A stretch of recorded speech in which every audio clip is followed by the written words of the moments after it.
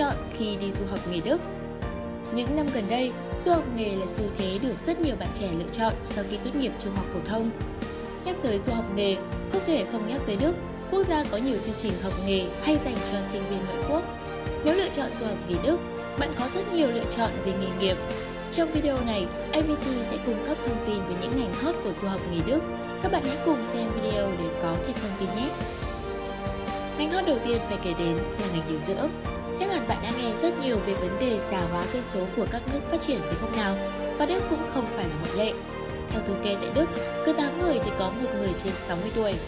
Có đến 90% người già ở Đức muốn đến ở tại các viện dưỡng lão. Hiện nay có rất nhiều viện dưỡng lão ở Đức đang ở tình trạng quá tải hoặc thiếu hụt điều dưỡng trầm trọng.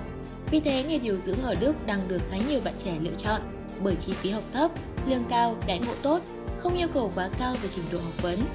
Ngoài ra còn một loạt những chính sách vô cùng ưu đãi của chính phủ Đức dành cho những du học ngành điều dưỡng như tạo thuận lợi để người nước ngoài định cư tại Đức gắn bó lâu dài với nghề.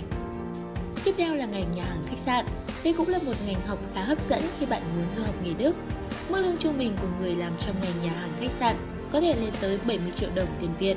Ngoài việc học và giảng dạy, các trường nghề ở đây còn khéo léo đan xen giữa lý thuyết và thực hành để sinh viên dễ dàng nắm bắt kiến thức.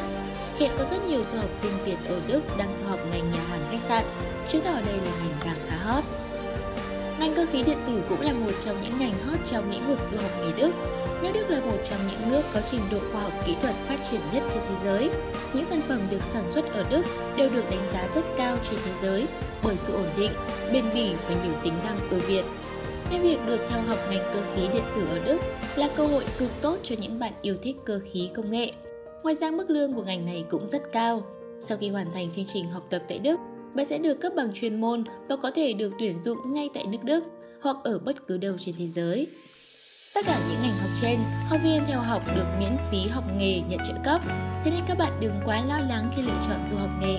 Sau khi ra trường, các bạn sẽ có công việc ổn định, mức lương cao, có cơ hội định cư và được hưởng chính sách an sinh xã hội ở đất nước tốt đầu thế giới.